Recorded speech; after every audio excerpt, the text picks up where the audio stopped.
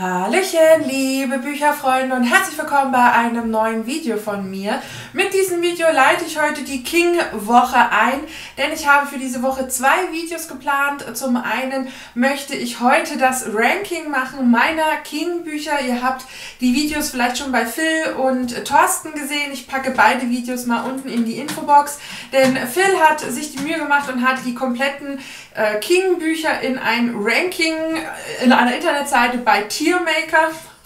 hineingebaut und ich fand das mega, mega spannend zu sehen, äh, wie meine Kingsianer-Kollegen hier im Grunde vorgehen, welche Bücher ihre Top 3 sind. Das finde ich tatsächlich schon sehr schwierig. Und äh, ja, ich starte heute mit diesem Video in die King-Woche. Am Donnerstag möchte ich dann über die äh, Subbücher sprechen, die natürlich jetzt hier auftauchen werden, äh, da ich sie nicht gelesen habe, aber eben auch schon im Regal liegen und die ich mir für dieses Jahr ein wenig vorgenommen habe. Daher heute das etwas ungewohnteres Setting weil ich jetzt dann auch mit euch den Bildschirm teilen werde, damit ihr das seht. Und ich hoffe, dass das alles einigermaßen funktioniert. Äh, ich bin ja technisch nicht ganz die Begabteste, aber es sollte irgendwie klappen und jetzt machen wir einfach mal den Schwink zum Bildschirm und äh, ihr werdet mich dann jetzt nur noch ganz klein sehen, was auch absolut ausreichend ist und wir werden jetzt einfach mal sehen, äh, welche Bücher ich wie, wo einteile, welche gelesen sind und was am Ende dann tatsächlich meine Top 3 sind. Ich bin selbst ganz leicht nervös. So, ich hoffe, dass mit der Aufnahme funktioniert soweit. Also man sieht jetzt hier auch äh, alle Bücher, die Phil in die Liste hineingegeben hat. Äh, die sieht man hier unten und äh, ja, wir gehen jetzt einfach mal so ein bisschen gemeinsam vor. Ich weiß nicht, ob man sich das hier ein bisschen größer machen kann. Äh, wir fangen einfach unten nach und nach mit den Büchern an, welche wir hier so ein bisschen haben. Das erste Buch ist Shining, habe ich gelesen fand ich tatsächlich persönlich eher so okay. Ich bin kein großer Fan von Shining und auch nicht von der Verfilmung. Ähm, ich finde beides so okay, daher würde ich jetzt sagen eher mittelmäßig. Ja, das Institut ist ja eins seiner neueren Werke. Ich fand das tatsächlich richtig gut. Ich fand den Anfang ein bisschen mau. Es hat einen Moment gebraucht, bis wir tatsächlich im Institut und bei den Kindern angekommen sind. Und das fand ich aber dann mega spannend und hat mir sehr, sehr gut gefallen. Daher würde ich das definitiv hineinpacken zu den äh, ganz gut. Dann Frühling, Sommer, Herbst und Tod ist ja eine Kurzgeschichtensammlung, die mittlerweile, glaube ich, auch schon aufgeteilt wurde. Ich schaue da auch ganz gerne auf die King Wiki Seite, gerade wenn ich dann überlege, welche Bücher ähm, habe ich denn schon, was möchte ich noch lesen, was fehlt mir noch. Hier drin enthalten müsste auf jeden Fall die Verurteilten sein. Ähm, es müsste Stand By Me drin sein, das ist ja die, die Leiche im Deutschen. Ähm, oh, was war da noch mit drin? Äh, gute Frage. Auf jeden Fall ein Kurzgeschichtenband, wo ich mich zumindest bei diesen zwei dran erinnere. Es gibt noch einen ganz bekannten, ähm, ganz bekanntes drittes. Ähm, Ah, der Musterschüler, genau, der auch sehr gut äh, verfilmt ist mit Ian McKellen. Also hier würde ich definitiv sagen, ein Kurzgeschichtenband, der sehr gut ist und dementsprechend ganz gut gerankt wird. Ach ja, Richard Bachmann, Bechmann, Beckman, wie auch immer wir ihn aussprechen möchten, mit Qual habe ich nicht gelesen. Dadurch, dass mir Bachmann nicht ganz so gut gefällt, äh, ich da definitiv meine Probleme mit ihm habe, äh, ist das noch ein ungelesener. Ja, Menschenjagd fand ich unfassbar langweilig. da, da, dementsprechend nicht so meins. Es gibt auch nur eine Flop, Flop 3. Ich bin entsetzt. Äh, ja, Schicht müsste doch äh, der Band sein, wo auch äh, George R. R. Martin und Dan Simmons eine Geschichte hat. Oder verwechsel ich das jetzt mit Nachtvisionen? Ich bin mir gerade nicht sicher.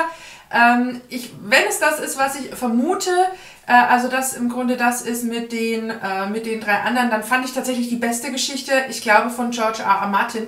Der Rest war eher so mau, daher eher nicht so meins und man erinnert sich ähm, auch einfach zu wenig ähm, am Ende daran und ähm, ja, das ist dann immer nicht ganz so einfach. Der Talisman mit Peter Straub ist äh, ein Buch, das ich äh, noch nicht gelesen habe, was aber schon auf dem äh, Sub liegt und äh, dementsprechend, äh, ja, freue ich mich darauf. Ja, Dadets, eine wunderbare Geschichte, die mir sehr, sehr gut gefallen hat und die definitiv auch zu seinen besten gehört. Es ist aber auch schon ein ganzes Weilchen her, dass ich das jetzt äh, gelesen habe. Ähm, aber ich erinnere mich da noch sehr, sehr gerne dran an den Dreamcatcher. Es gibt da auch eine Verfilmung, die ich aber, glaube ich, auch nur eher so mau fand.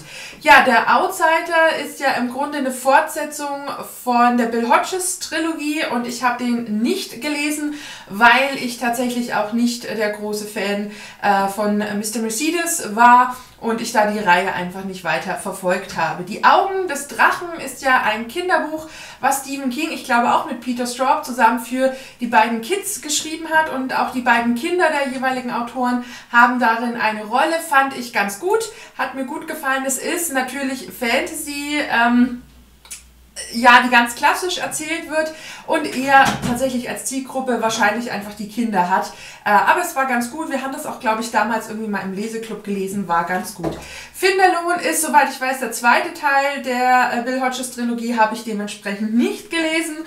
Och, und jetzt kommen wir schon zu S. Und das ist natürlich...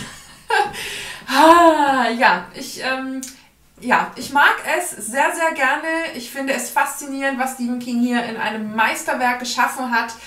Ähm, gehört es für mich zu den Top 3? Ha, das ist echt schwierig. Ich packe es mal in die Top 3. Ja, vielleicht gehört es aber auch nur zu den besten. Ah, bin mir nicht ganz so sicher. Ja, Joyland war mal auch wieder etwas ganz, ganz anderes von Stephen King. Äh, hat mir aber auch äh, in Erinnerung zumindest sehr gut gefallen. Ich weiß, dass Phil nicht so viel damit anfangen konnte. Ich das aber relativ gut in Erinnerung habe und ich da definitiv dieses Jahr auch gerne den Reread mit Phil starte. Also Phil, wenn du loslegst, sag Bescheid. Ich habe das in ganz guter Erinnerung und deswegen würde ich das Buch auch da hinschieben. Ja, Sie, äh, was ja auch bekannt ist unter Misery, äh, ein Buch, das wirklich heftig ist und was ja in der Hütte spielt und wir hier, hier einen Fan haben, der auf seinen Autor trifft und der will die Geschichte anders schreiben, ähm, wie, wie er sich das im Grunde gedacht hat oder auch wünscht. Das ist natürlich, glaube ich, also die Horrorvorstellung jeden Autors. Ich weiß gar nicht, wie es da zum Beispiel George R. R. Martin geht mit... Ähm, ja, den vielen Charakteren, die er hat sterben lassen, ob es da äh, böse Fanbriefe gab. Äh, ich mochte sie sehr, sehr gerne. Also für mich gehört es definitiv mit zu den besten. Habe ich auch schon zwei oder sogar dreimal gelesen. Äh, Finde ich wirklich toll. Also das ist wahnsinnig, was da ja mit zwei Personen in einer Art Kammerspiel ja passiert und wie die beiden auch interagieren. Und ich finde das absolut großartig. Dann relativ frisch ist Quendys Wunschkasten. Ich glaube vor zwei, drei Jahren erschienen. Es kommt jetzt, glaube ich, auch 2021 eine Fortsetzung. Das war ganz okay, aber eher so mittelmäßig. Also ich habe mich da auch gefragt, warum man da wirklich eine gebundene Ausgabe draus macht. Das hätte für mich in der Sammlung mit Kurzgeschichten auch absolut ausgereicht. Es war ganz spannend, aber ja, es war eher okay. Äh, dann Erhebung war tatsächlich nicht so meins, ist auch eine Kurzgeschichte, die einzeln erschienen ist und äh, ich habe dann nicht ganz verstanden, was er mir mit dieser Geschichte eigentlich sagen wollte. Ja, ich fand die eher so. Hm. Äh, ja, das Spiel äh, super spannend, äh, wenn hier ein paar Fesselspiele machen und er dann äh, tot umfällt und die Frau gefesselt am Bett ist. Eine Horrorvorstellung und ich habe mich dann auch nie wieder an irgendein Bett ketten lassen. Ähm, ja, weil ich das echt, ich das ist echt eine sehr lebendige äh, Vorstellung, die ich da leider habe. Gehört für mich definitiv zu den besten. Es gibt auch eine Netflix-Verfilmung, die ich sehr empfehlen kann, weil besonders Dinge, die im Buch im Kopf passieren, sehr, sehr gut äh, dargestellt wurden und richtig Spaß gemacht haben. Ja, jetzt kommen wir äh, zu der dunklen Turmreihe und da muss ich jetzt so ein bisschen schauen, welcher Teil hier was ist ähm, weil ich habe da nur den ersten gelesen und das war ja, und auch den zweiten. und das erste war ja, ähm, ich bin jetzt mal am überlegen, müsste ja schwarz gewesen sein. Der wird wahrscheinlich noch ein bisschen weiter hinten kommen. Äh, und der zweite Band ist dann ja, glaube ich, drei. Den habe ich abgebrochen, also definitiv für nicht so meins. Äh, während ich ähm, tatsächlich äh, Schwarz dann wahrscheinlich zu den Flops packen würde. Äh, ich habe Wind dementsprechend nicht gelesen. Ähm, was gehört da noch dazu? Susanna habe ich auch nicht gelesen. Ich habe es jetzt auch erstmal nicht mal vor, ähm, hier weiterzumachen. Auch der Turm ist nicht gelesen. Ähm, ja, es sind, kommen jetzt, glaube ich, einige. Es sind ja insgesamt ähm, ja doch ein paar äh, Bücher, die zur dunklen Turmsaga gehören. Ähm, ich es wird mich dann wahrscheinlich beißen. Hier Wolfsmond und dann noch Glas und Schwarz war absolut ein Flop. Also ich ähm, ja, habe das damals gelesen, ich habe überhaupt nicht verstanden, was, was, was Stephen King hier erschafft. Und ja, ich weiß, dass es in der dunklen Turmreihe dann definitiv Sinn macht, ähm, wie der erste Teil aufgebaut ist. Und ich habe ja dann auch mit dem zweiten Band mit drei weitergemacht, weil mir eine Kurzgeschichte so gut gefallen hat. Aber ja, es ist nicht so meins oder noch nicht. Vielleicht sehe ich das in, in, in, in 10, 20 Jahren auch anders. Man soll ja niemals nie sagen. Und jetzt kommen wir schon zu einem absoluten Highlight und das ist definitiv für mich Friedhof der Kuscheltiere. Das gehört definitiv in die Top 3. Warum ist denn das keine Top 5?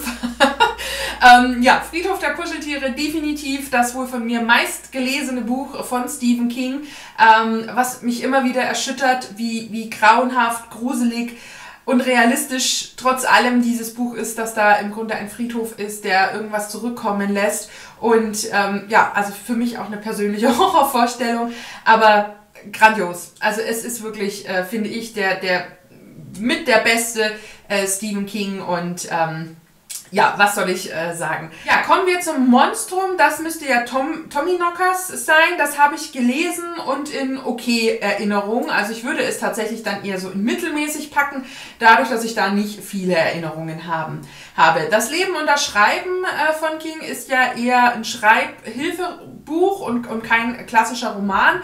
Ähm, habe mich tatsächlich noch nie so richtig äh, interessiert, weil ich auch nicht vorhabe, ein Buch zu schreiben. Daher ist das ein nicht gelesen Buch. Blutige Nachrichten ist eine Kurzgeschichtensammlung aus 2020, ich glaube mit vier oder fünf Geschichten und ähm, ich habe die nur so in okay Erinnerung. Äh, es ist auch wieder eine dabei, die die Bill Hodges Trilogie bzw. den Outsider irgendwie weiterführt. Äh, die konnte ich auch ganz gut lesen, ähm, auch ohne das vorher so richtig gekannt zu haben. Ähm, aber man wird da definitiv gespoilert. Ähm, für mich eher so eine mittelmäßige Sammlung. Ja, Wahn habe ich auf dem Sub, ist noch nicht äh, gelesen. Ähm, jetzt wird es hier ein bisschen eng. Äh, Amok. Ist ja auch ein, ein Bachmann und das war einfach nicht so meins. Also ich habe das gelesen, fand es auch irgendwie ja, ich weiß, was er mir damit erzählen wollte mit diesem Schulamoklauf. Ist ja auch mittlerweile so, dass das Buch nicht mehr gedruckt wird und äh, auch nicht mehr neu gibt. Ähm, aber äh, ja, es war nicht so meins. Dolores wiederum habe ich in sehr, sehr guter Erinnerung, ähm, ist aber auch schon lange, lange her, dass ich das tatsächlich gelesen habe. Revival war mal wieder etwas ganz anderes von King und fand ich definitiv auch sehr, sehr gut. Ähm, ich fand auch diese, dieses, diese Idee mit der Religion und dem Priester und ähm, ich habe das Ende auch in sehr guter Erinnerung. Und das äh, finde ich definitiv war ganz gut. Bazaar der bösen Träume war ein Kurzgeschichtenband, ich glaube mit einigen vielen Geschichten. Ich kann mich nur vage an wenige erinnern. Ich bin ja nicht der größte Fan der Kurzgeschichten, daher für mich wahrscheinlich eher mittelmäßig. Love von Stephen King ist auch schon ein ganzes Weilchen her, ich weiß gar nicht, wann das ähm, erschienen ist, äh, habe ich gelesen, habe ich auch eher nur so in okay Erinnerung. Ich wüsste nicht, ähm, ja, ich kann mich da nur sehr vage dran erinnern. Äh, das Bild habe ich im letzten Jahr gelesen, war für mich ein Highlight und ist dementsprechend definitiv eins seiner besten, ähm, weil es so einen, einen Alltagsgrauen tatsächlich zeigt. Und ähm, ja, hat mir definitiv sehr, sehr, sehr gut gefallen.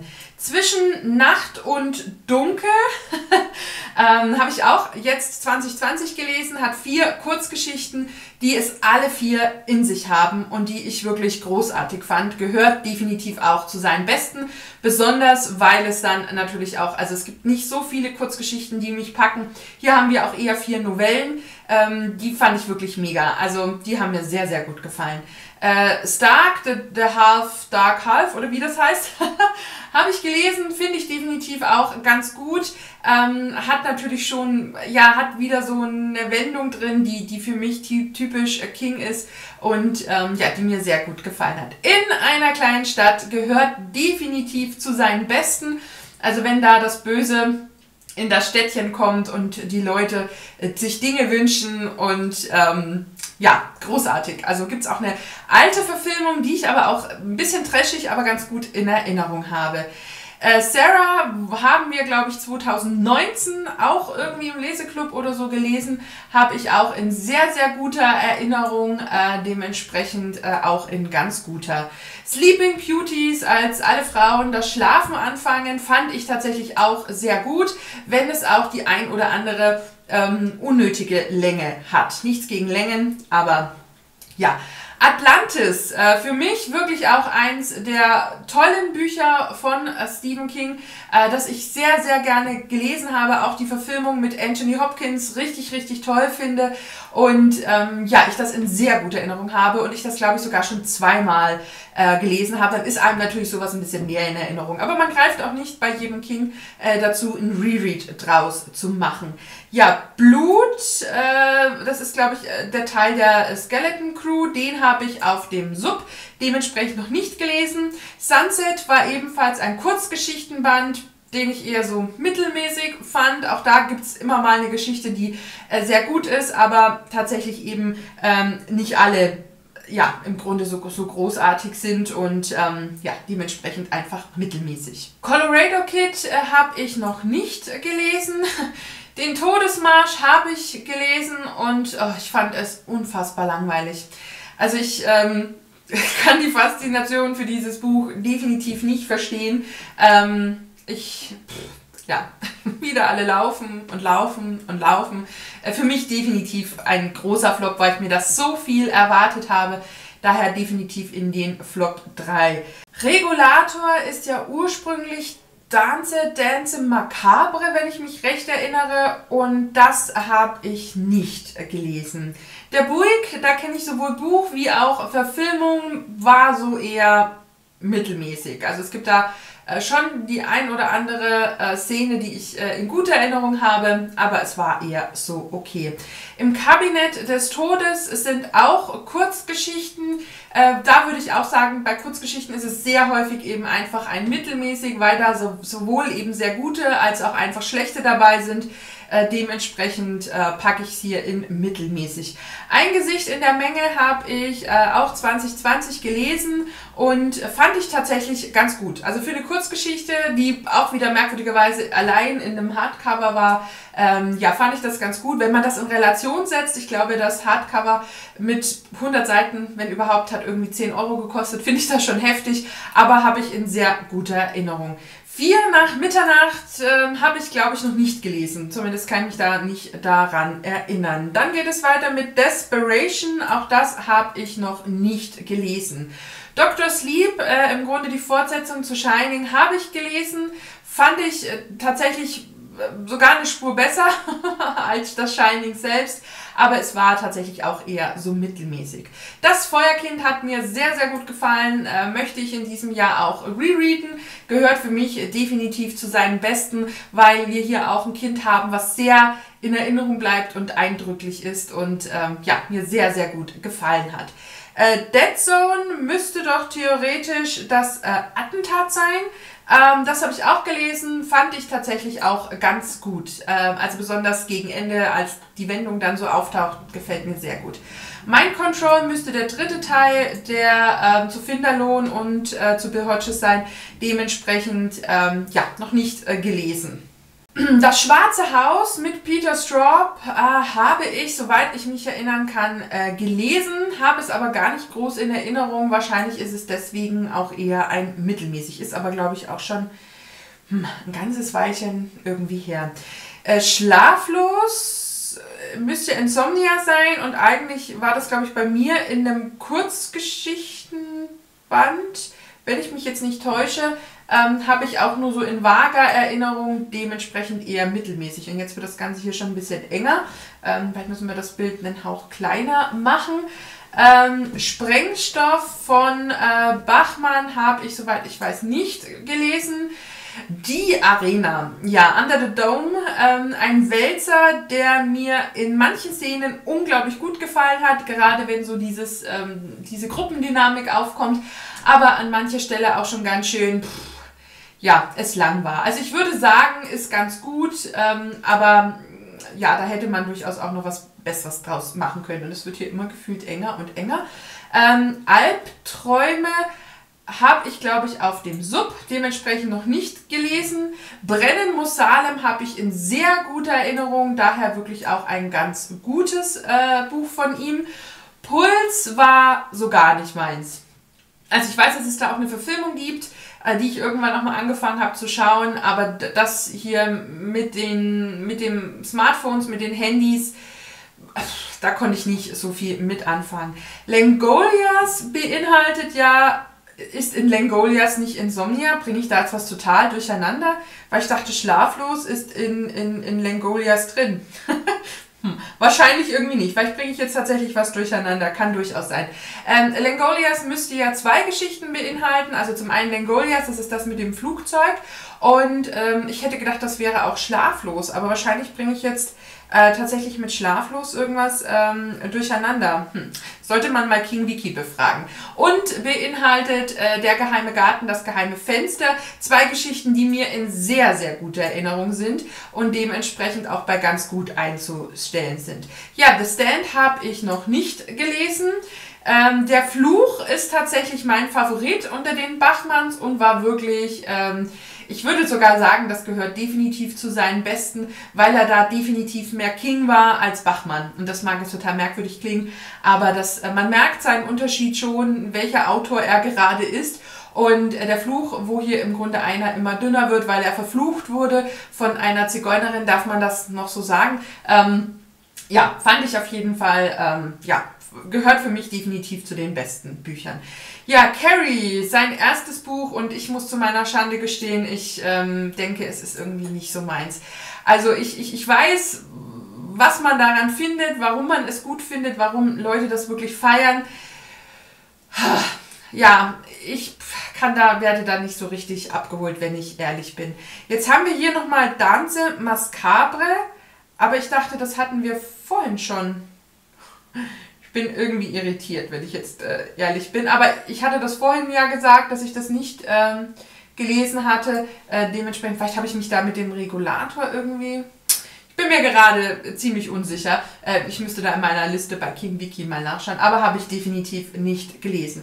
Christine, nochmal ein Auto. Auch äh, das habe ich tatsächlich in, in guter Erinnerung, aber jetzt auch äh, nicht äh, viel mehr sozusagen. Ähm, ich weiß nicht. Ähm, ob es nicht vielleicht einen Level mit dem Buick hatte. Ja, vielleicht setze ich die Autos einfach äh, nebeneinander. Ja, Mr. Mercedes ist gelesen und war definitiv nicht so meins. Der Green Mile ha, gehört für mich definitiv in, in seine Top 3. Jetzt komme ich nicht mehr hoch. Äh, ja, gehört für mich in die Top 3 und dann wird es eigentlich schon knapp, weil ich sehe mindestens noch ein Buch, äh, was da oben hin muss. Und ähm, ja, Cucho, äh, der Hund, der Bernhardiner, auch eine ganz coole, wenn auch etwas trashige Verfilmung, äh, fand ich definitiv gehört zu seinen besten.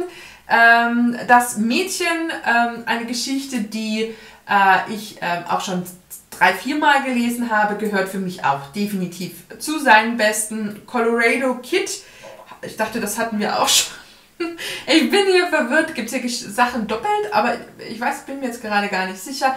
Colorado Kid habe ich auch noch nicht gelesen.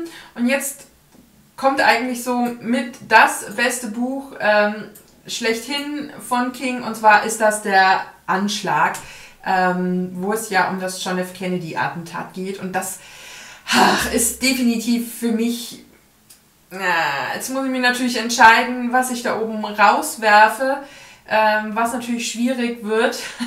Und kann ich nicht eine Top 4 einfach draus machen? Nein, also ich würde wahrscheinlich tatsächlich S wegnehmen und würde sagen, meine Top 3, oh, das Friedhof der Kuscheltiere, der Green Mile und der Anschlag.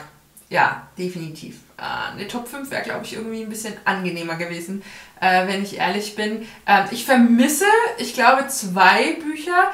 Ähm, ähm, der Vampir, nee, der Werwolf. äh, und, und da gibt es auch zwei Bücher, wenn ich mich nicht irre, von Taka Mills und ähm, noch irgendwas. Die die habe ich jetzt bewusst hier gar nicht irgendwie gesehen. Und ähm, ja, aber äh, ja, sehr, sehr cool. Also es ist schon, ja, es ist schon spannend, ne? Also wenn man tatsächlich von einem Autor so viele Bücher schon kennt und ich kenne ja definitiv mehr, als ich nicht kenne. Äh, ja, also ist schon, das in so ein Ranking zu bringen. oh mein Gott. Ja, also ja, ja, meine Top 3 so schwer es mir tatsächlich echt fehlt. Ne? Ich würde tatsächlich, glaube ich, lieber eine Top 5 machen und, und würde dann noch ähm, S und wahrscheinlich mm, das Mädchen oder in einer kleinen Stadt. Ja, da wären wir schon wieder bei einer Top 6. Ne? Aber ja, meine Top 3, Friedhof der Kuscheltiere, der Green Mile und der Anschlag. Ähm, ja, stehen jetzt sozusagen fest. Und schon sind alle Stephen Kings mehr oder weniger gerankt. Es ist äh, echt, also ha, mir tut die Top 3 doch ein bisschen weh. Aber äh, ja, ich bin ganz happy darüber, wie wenig Bücher eigentlich auf dem nicht gelesenen Stapel gelandet sind und ähm, dass es eben durchaus eben auch Gründe gibt, warum die da draufstehen. Also wenn es eben Fortsetzungen sind zu so Büchern, die ich ähm, nicht weiterlesen möchte. Allein beim Dunklen Turm sind dann ja schon einige Bücher sozusagen weg. Aber ja, natürlich auch einige, die ich auf dem Sub habe und äh, die werde ich euch dann am Donnerstag zeigen. Auch so ein bisschen, ja, wie mein Plan ist für dieses Jahr, wie ich die lesen möchte, wann ich die lesen möchte. Es wird auch den ein oder anderen Reread von Stephen King geben, den ich mit lieben Freundinnen lesen werde und da freue ich mich auch schon drauf. Und äh, ja, ich packe wie gesagt äh, die beiden Videos von Phil und Thorsten unten in die Infobox. Schaut da gerne mal vorbei. Und wenn ihr Lust habt und vielleicht auch den ein oder anderen King einfach schon gelesen habt und Lust drauf habt, mal zu sehen, äh, wie ihr das einpackt, äh, ich packe auch diese Tiermaker-Seite unten äh, einfach mal mit rein. Da gibt es auch allerhand andere Listen, wie ich das gesehen habe. Und ähm, ja, wünsche euch da einfach ganz viel Spaß bei, bei den Listen. Es hat auf jeden Fall Spaß gemacht, wenn auch eher ein bisschen Kopfzerbrechen. Aber das gehört natürlich auch so ein bisschen bei dieser Aufgabe mit dazu. Ich danke euch jetzt fürs Zusehen, wünsche euch noch einen schönen Tag, einen schönen Abend und bis zum nächsten Video. Macht's gut. Tschüss, eure Steffi.